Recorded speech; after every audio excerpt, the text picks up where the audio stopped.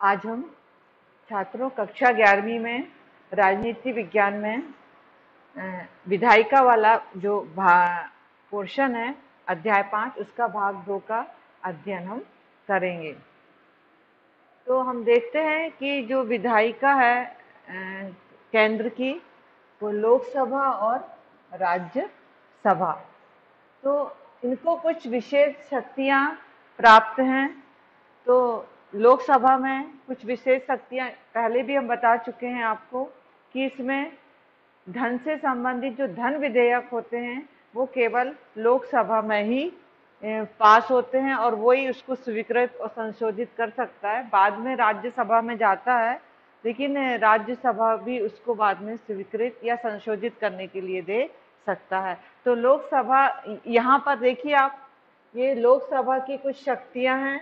और इस वाले खंड में राज्यसभा की कुछ शक्तियाँ। इन शक्तियों को मैं वैसे पढ़ा चुकी हूँ, फिर भी ये एक पॉइंट बनाकर ये आपके सामने प्रस्तुत है। तो जितने भी और जो धन विधेयक है, जो हमारा मंत्री मंडल है, मंत्री परिषद है, वो लोकसभा लोकसभा के प्रति उत्तरदायी होता है। राज्यसभा के प्रति उत्तरदायी नहीं होता है। जैसे कर प्रस्ताव है, बजट, वित्तीय वर्ष तो ये सब जो वित्तीय हैं, ये इनको अपन वित्तीय वर्ष में बजट प्रस्तुत करते हैं। और लोकसभा में हम प्रश्न पूछकर, राज्यसभा में भी माध्यम से हम प्रस्ताव लाकर, एक बहुत ही बहुत महत्वपूर्ण अविश्वास प्रस्ताव है उससे हम कार्यपालिका पर नियंत्रण कर सकते हैं, कौन लोकसभा? संविधान संशोधन कर सकते हैं, ये राज्यसभा में भी होता है। आपातकाल की घोषणा कर सकते हैं कोई विशेष परिस्थिति में। राष्ट्रपति और उपराष्ट्रपति का चुनाव तो करते हैं, ये इनकी एक न्यायिक कार्य है। समिति और आयोगों का गठन भी करते हैं, जो समितियाँ होती हैं, हमारी संसदीय वो गठन करती हैं और हर विधेयक और प्रतिवेदन पर अपनी रिपोर्ट प्रस्तुत करती हैं। अब देखेंगे आप राज्यसभा की शक्तियाँ। तो जितने भी सामान्य विधेयक हैं वो लोग राज्यसभा में भी प्रस्तुत किए जा सकते हैं और लोकसभा में भी प्रस्तुत किए जा सकते हैं। और धन विधेयक में केवल संशोधन कर सकते हैं, संविधानिक में भी संशोधन कर सकते हैं, वो भी विशेष बहुमत से। राज्यसभा में भी प्रश्न पूछ सकते हैं अपने अधिवेशन में। संकल्प और प्रस्ताव प्रस्तुत करके कार्यपालिका में क्या करते हैं? नियंत्रण। उपराष्ट्रपति और राष्ट्रपति का चुनाव करते हैं। उच्च न्यायालय के न्यायाधीशों को हटा सकते हैं। ये मतलब अपदस्त करने का काम भी राज्यसभा के द्वारा किया जा सकता है। बहुत महत्वपूर्ण काम है कि यदि केंद्र सरकार चाहती है कि राज्य सूची का कोई ऐसा विषय है, वो उसको केंद्र में, संघ में या संवर्ती सूची में लाने पर विचार करती है तो इसके लिए राज्यसभा की हमें अनुमति लेनी पड़ती है। ये एक इसका विशेष, विशेषाधिकार है राज्यसभा का कि वो राज्य सूची पर अपना। अब हम पढ़ेंगे संसद कानून कैसे बनाती है। सबसे पहले हमें, कानून बनने के पहले हमें एक विधेयक प्रस्तुत करना पड़ता है। अब विधेयक क्या है? जो मांग पत्र होता है। जैसे ये विधेयक है।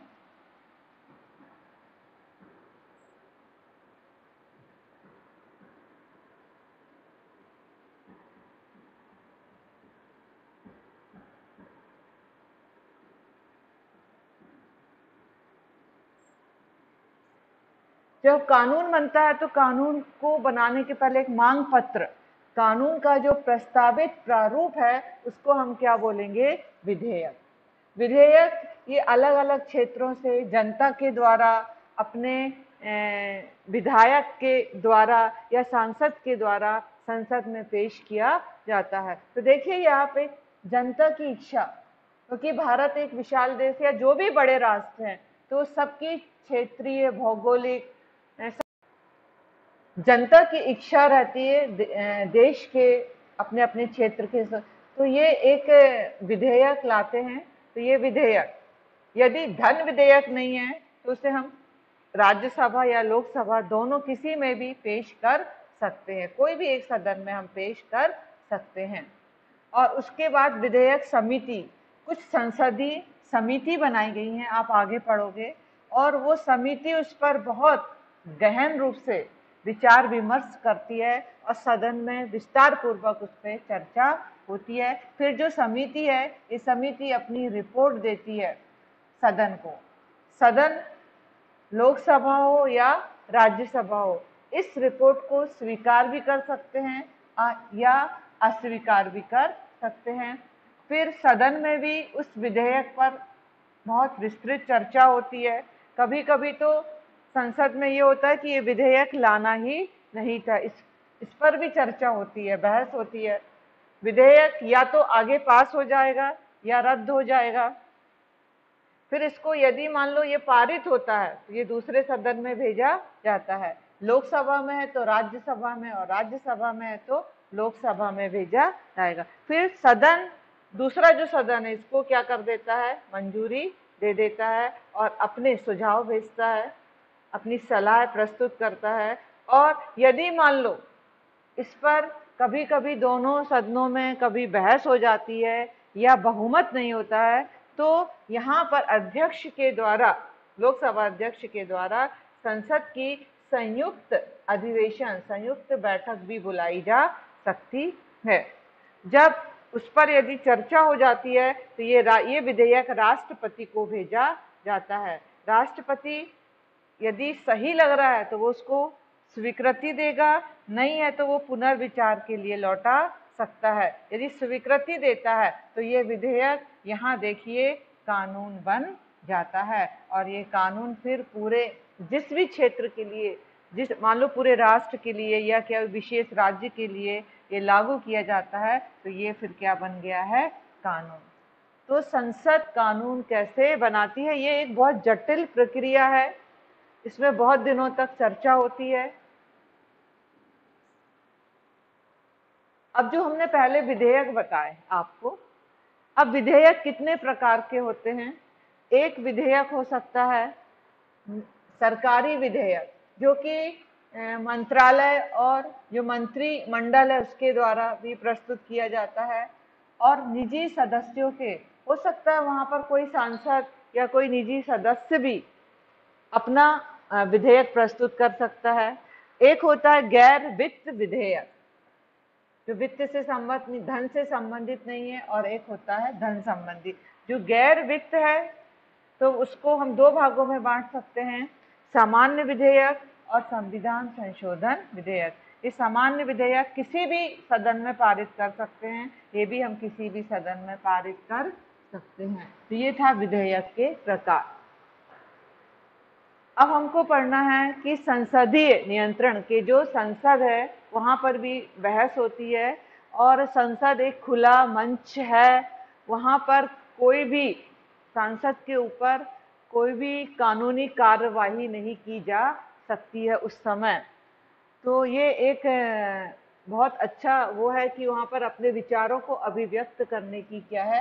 स्वतंत्रता है। अपने नीति नियम बनाने की ये पूरा। तो पहला पॉइंट है इसका बहस और चर्चा। तो आप देखेंगे कि करते समय वाद विवाद भी होता है और प्रश्न काल होते हैं। सभी को अपने जब भी अधिवेशन होता है तो प्रतिदिन उनको प्रश्न पूछने का एक समय दिया जाता है प्रश्न काल आता है, जिसमें कि मंत्रियों को उनको अपने जवाब देने पड़ते हैं। अलग अलग स्थानों से अलग अलग भौगोलिक समस्याओं के आधार पर प्रश्न होते हैं।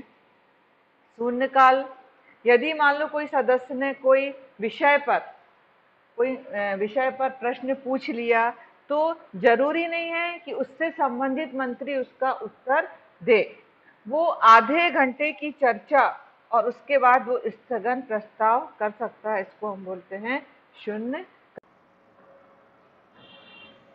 जो प्रश्न काल होता है, उसमें क्या करते हैं कि हमारी विधायिका द्वारा कार्यपालिका और जो प्रशासकीय एजेंसियाँ हैं, उन पर निगरानी हम रख सकते हैं और संसद के सदस्यों में प्रश्न काल में गहरी क्या होती है मतलब उत्सुकता पाई जाती है। क्योंकि सदन में उस समय सबसे ज़्यादा उपस्थिति रहती है और जो जनता के हित में जो विषय होते हैं, जैसे मूल्य वृद्धि, अनाज की उपलब्धता, जो वर्तमान में जितनी भी समस्याएँ हैं, उस पर ये सदस्य सरकार की क्या करते हैं, उससे मांग करते हैं और उनकी, यदि उनको पसंद नहीं आता है तो आलोचना भी कर सकते हैं।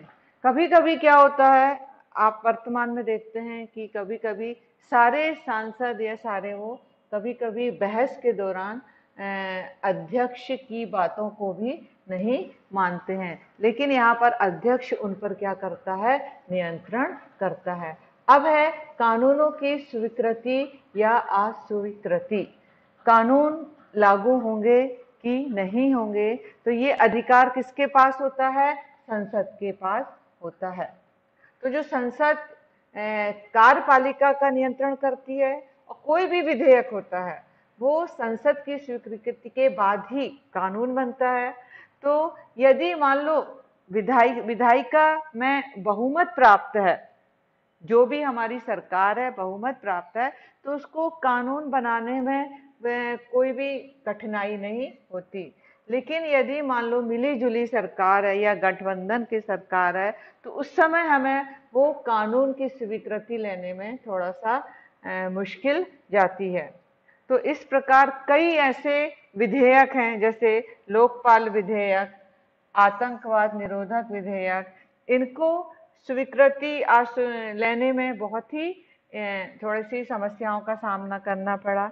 अगला है हमारा वित्तीय नियंत्रण। वित्तीय नियंत्रण आपको मालूम ही है कि देश में जो भी बड़े काम होते हैं, उसमें हमें वित्तीय संसाधनों की आवश्यकता पड़ती है। वो कार्य करने के लिए पैसा कहाँ से आएगा? तो ये सरकार की सरकार से स्वीकृति लेना, ये इसके कारण विधायिका को कार्यपालिका पर भी निर्भर रहना पड़ता है कि हमारे जो राष्ट्र का जो कोष है, उस पर कितना धन है और उसको कार्य करने के लिए हमें कितने धन की आवश्यकता होगी। तो धन स्वीकृत करने से पहले हमें लोकसभा लोकसभा सरकार द्वारा धन मांगने पर कारणों की चर्चा करनी पड़ती है और हमारे जो ऑडिटर हैं, नियंत्रक, महालेखा परीक्षक और संसद की लोक लेखा समिति इस रिपोर्ट पर विचार करती है कि कहीं धन का दुरुपयोग तो नहीं हो रहा है। फिर है अगला, अविश्वास प्रस्ताव। कार्यपालिका पर नियंत्रण करने का सबसे अच्छा मज़बूत जो पॉइंट है, वो है अविश्वास प्रस्ताव। जब तक सरकार को अपने दल या सहयोगी दलों का बहुमत प्राप्त है तो सरकार को हटाने की सदन की यह शक्ति वास्तविक कम और काल्पनिक ज़्यादा होगी। मतलब हम यदि सब एक ही पार्टी के हैं तो अविश्वास प्रस्ताव की स्थिति उत्पन्न नहीं होती है। तो संसद के दोनों सदनों में हम देखते हैं कि जो संसद कार्यपालिका है, उसको प्रभावी ढंग से हम नियंत्रित कर सकते हैं और एक उत्तरदायी और प्रभावशाली सरकार को हम सुनिश्चित कर सकते हैं। इस प्रकार हम देखते हैं कि ये संसदीय नियंत्रण किस प्रकार होता है। अब जो संसद जो संसदीय समितियाँ बनी हुई रहती हैं, ये किसी भी मुद्दे पर कानून बनाने के लिए इनको सौंपा जाता है। अपने अपने करीब लगभग 20 समितियाँ हैं।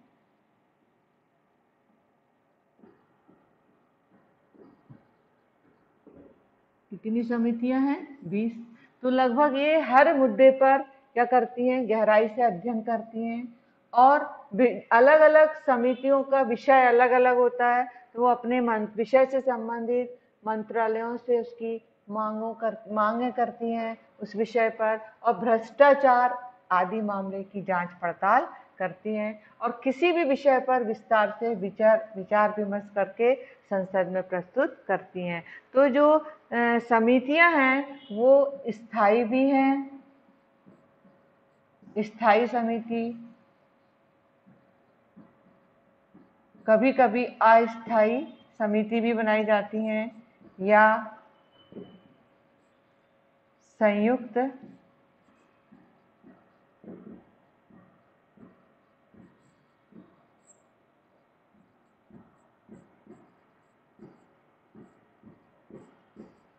या संयुक्त संसदीय समिति। ये समितियाँ तीन प्रकार से हो सकती हैं, कुछ समय के लिए भी बनाई जाती हैं।